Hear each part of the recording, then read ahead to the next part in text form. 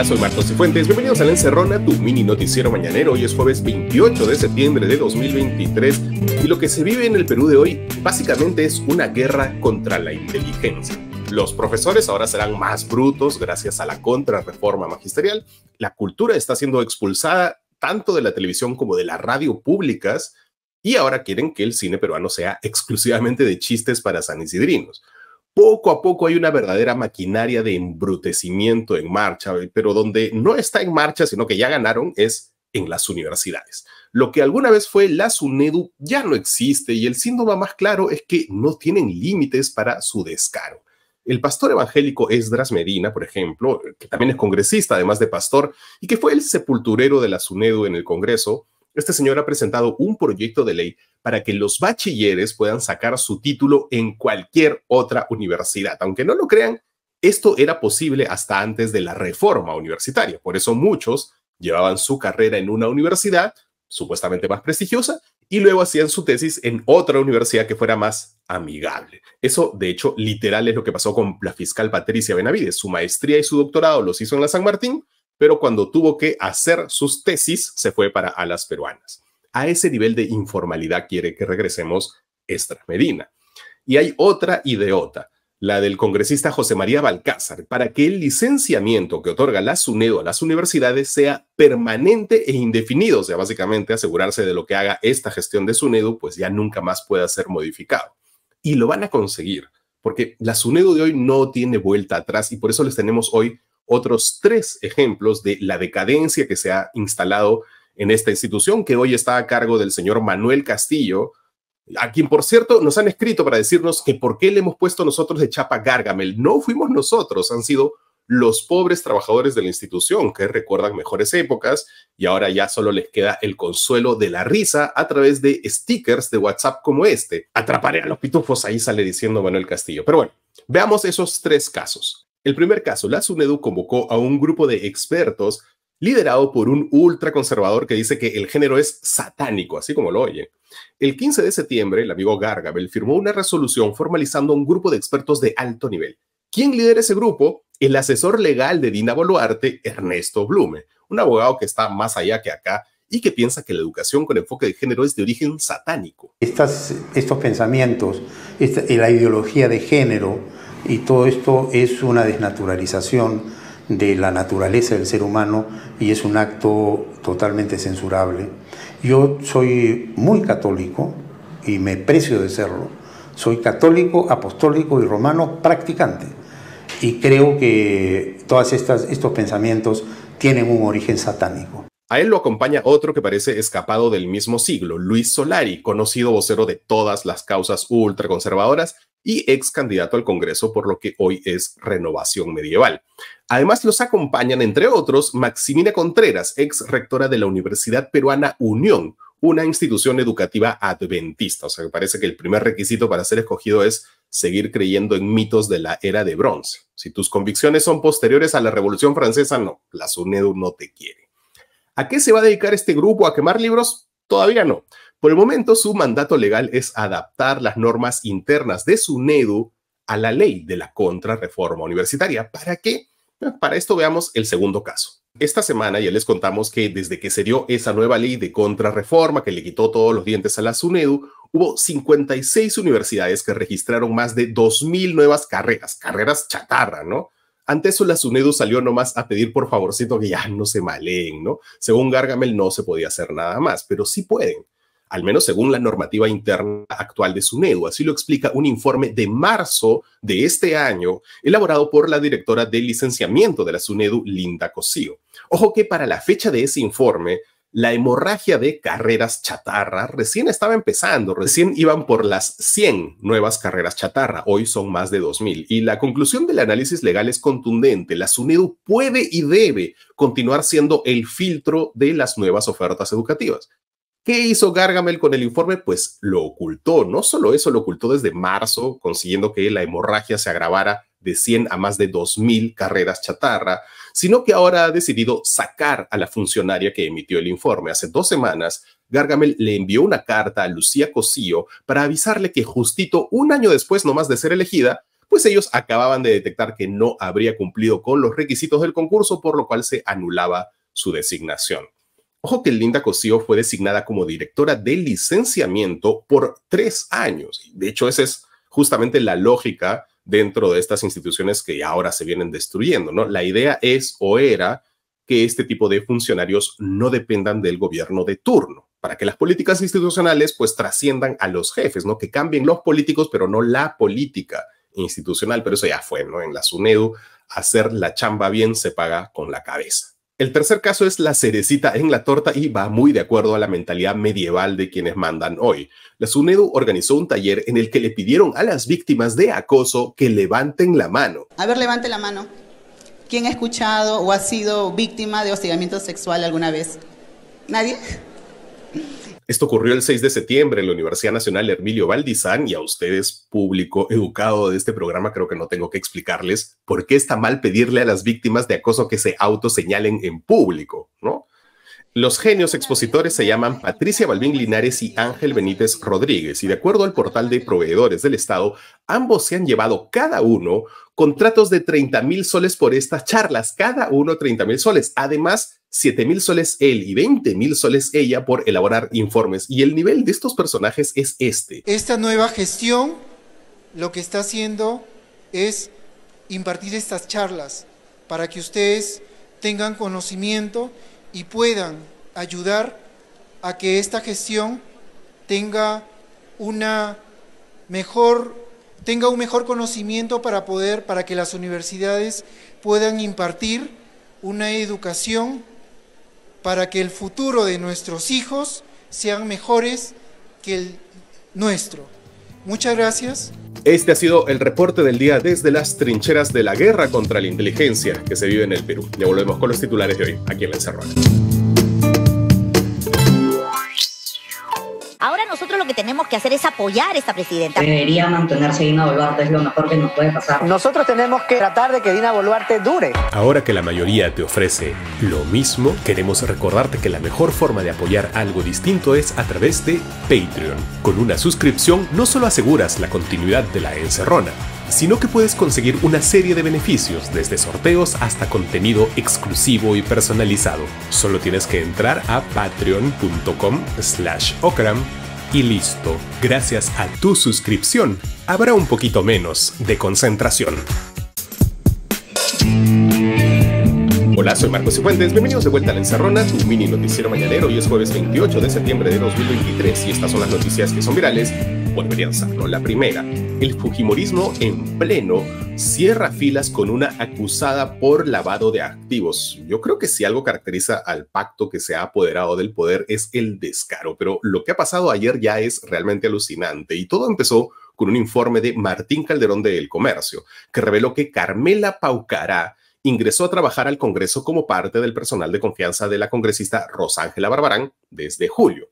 ¿Y cuál es el problema con esta señora Carmela Paucara, que está involucrada en el caso Cocteles? Según la tesis de la Fiscalía, no era cualquier persona vinculada a la organización criminal, sino que era la secretaria de confianza de Keiko Sofía Fujimori Iguchi. Además, es nada menos que hoy, agárrense, la jefa de la Secretaría de Ética y Disciplina de Fuerza Popular.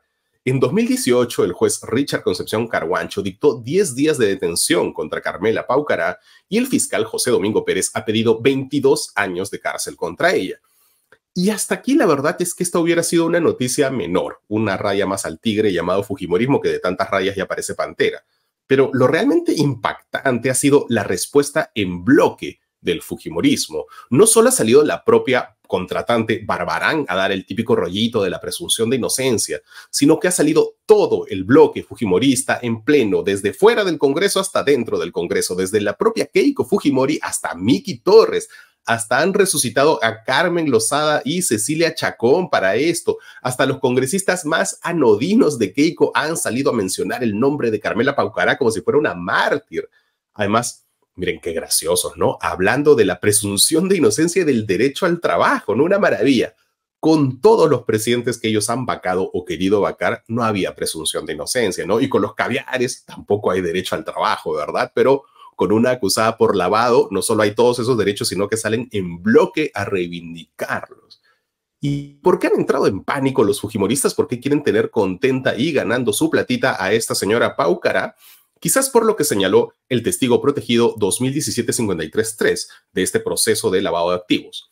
Carmela es la persona que puede corroborar a las personas con las que se reúne Keiko Fujimori, porque ella le lleva un control de sus citas y reuniones que sostiene desde esos años. Apunten el nombre Carmela Paucara. La segunda, otro partido en líos por lavado de activos, renovación medieval. La Corte Superior Nacional de Justicia Penal Especializada decidió incluir al partido antes conocido como Solidaridad Nacional en diligencia sobre el caso de lavado de activos agravado porque se les acusa de haber recibido 5 millones de dólares provenientes de la constructora brasileña OAS y 200 mil dólares de Odebrecht. Según reveló ayer un informe del periodista Alejandro Céspedes de La República, se incluyen en las investigaciones a José León Luna Galvez, que fuera secretario general de ese partido y luego ya se fue para fundar Podemos Perú, además de otros personajes, incluyendo a Martín Bustamante, quien fuera la mano derecha, la mano izquierda y todas las extremidades de Luis Castañeda Locio, y quien, por cierto, en el 2019 confesó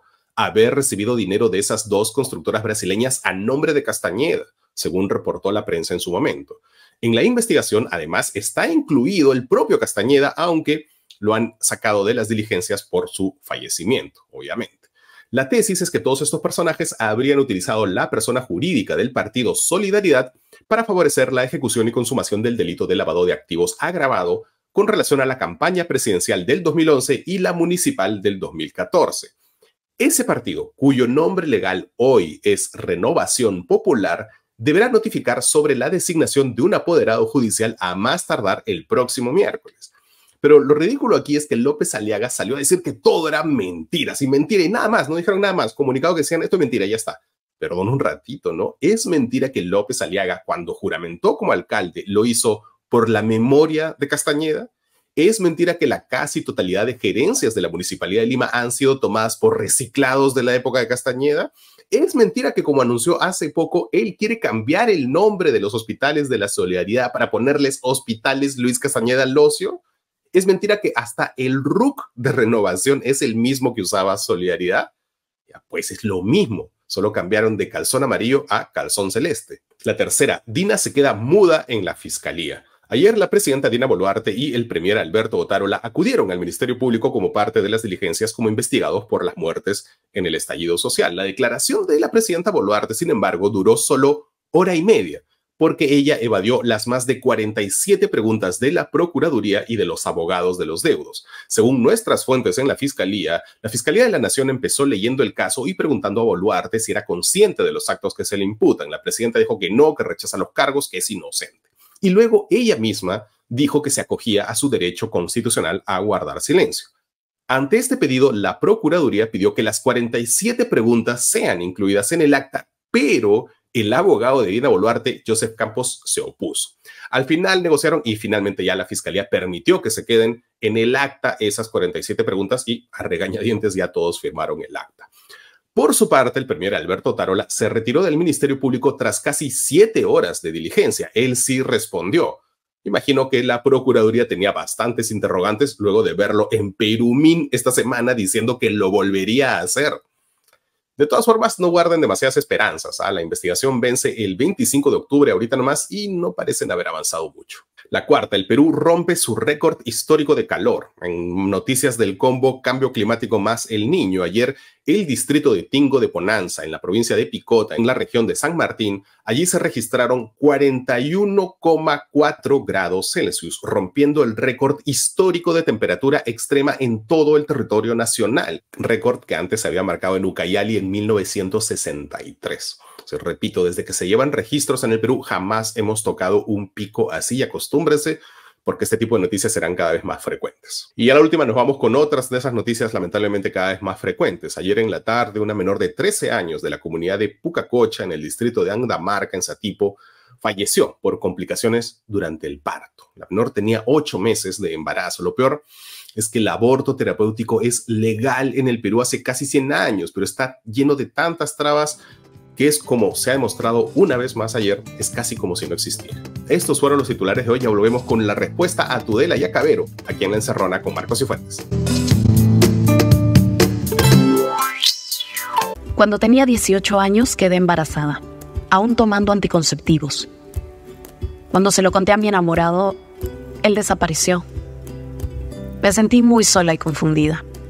Desde niña había querido ser madre. Me daba mucha ilusión. Pero en ese momento no me sentía listo. Y no era un ambiente estable. Así que decidí no continuar con mi embarazo. Acompaña su decisión. Hazlo sin juzgar.